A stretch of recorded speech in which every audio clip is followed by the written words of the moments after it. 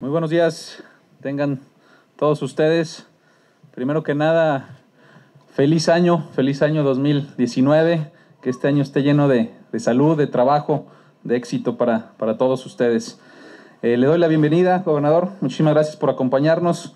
Como casi todos los sábados del, del año nos acompañan a estas entregas de apoyos de los programas del sector agropecuario. Muchísimas gracias por ello y por el impulso que le está dando al sector a través de nuestra dependencia, que por cierto en este año nos apoyó con un incremento del presupuesto de un 35%, haciendo contrapeso pues con un poco a la, a la baja que se tiene de los recursos federales. Muchísimas gracias por eso. Presidente Omar, muchísimas gracias por recibirnos en este municipio, como siempre haciendo equipo también con la, con la Secretaría en beneficio de nuestros productores. Igualmente, diputado José Manuel, muchísimas gracias, siempre muy atento también a los llamados de la, de la Secretaría y pues sé que estás muy involucrado en el sector, conoces muy bien el sector y seguramente pues seguiremos trabajando de la mano. De igual manera, Jesús Ramírez, muchísimas gracias Felicidades por este, por este proyecto. Ahorita ya nos platicará de los beneficios que ha obtenido con ello. Muchísimas gracias también por recibirnos. Luz María, muchísimas gracias también por acompañarnos.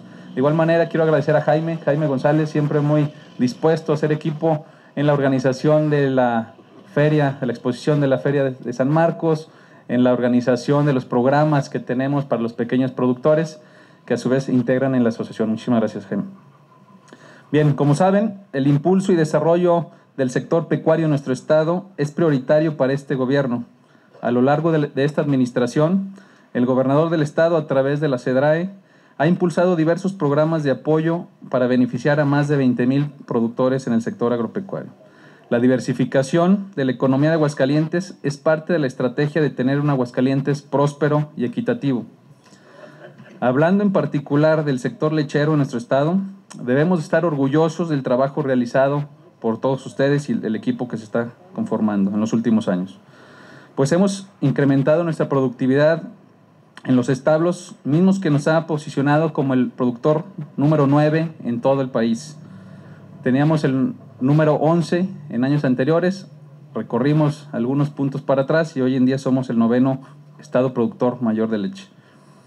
Eh, tenemos un promedio de 1.183.000 litros diarios de leche, promedio todo el año, dependiendo también los picos de producción.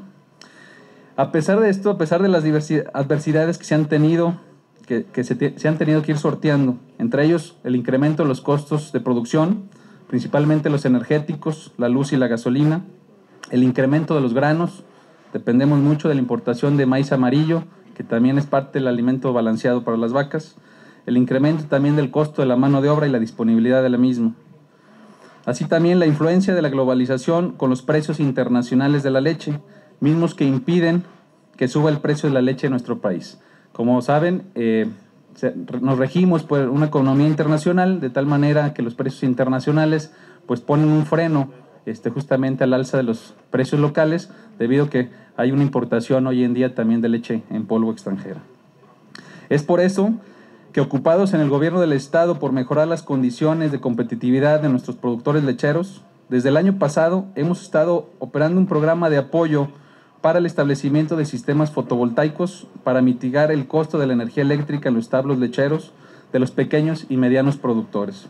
En este año estamos dando continuidad a este exitoso programa y el día de hoy estamos entregando 20 notificaciones de apoyo adicionales por una inversión total de 4 millones 822 mil pesos. 4 millones 822 pesos, de los cuales 75% corresponde a aportación meramente estatal, que son 3 millones 617 pesos.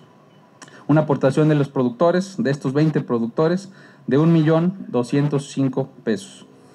Esto se suma a una inversión que ya teníamos del año pasado y en global estamos invirtiendo cercano a los 10 millones de pesos en conjunto productores y gobierno, 9 millones 400 mil pesos en sistemas fotovoltaicos para mitigar el costo de la energía eléctrica. La intención de la Secretaría es apoyar en su totalidad todos los proyectos que ingresaron en ventanillas, siempre y cuando estén completos los expedientes y cumplan con los requisitos de elegibilidad. Es por esto que invito a los productores y proveedores a que se acerquen a la Secretaría en la Dirección de Ganadería para revisar aquellos proyectos que aún no han sido apoyados, para ver si están completos o les falta algún detalle para que los puedan complementar y no tengamos ningún inconveniente en apoyarlos. Una vez que concluyamos con estos apoyos solicitados del año pasado, continuaremos con ventanillas nuevas para seguir apoyando este, este programa.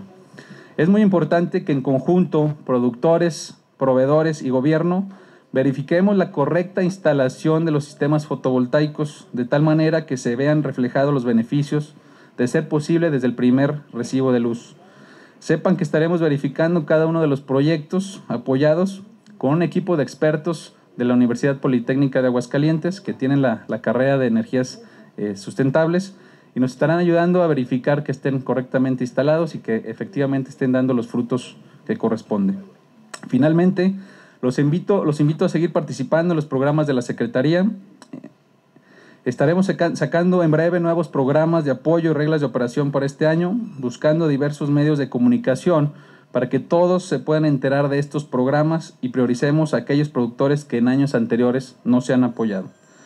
Les deseo mucha salud, trabajo y éxito, prosperidad en este 2019. Felicidades a todos, en especial a aquellos que el día de hoy, tanto el, gobernador como los Santos Reyes, les trajeron estos 20 cheques de apoyo. Muchas gracias.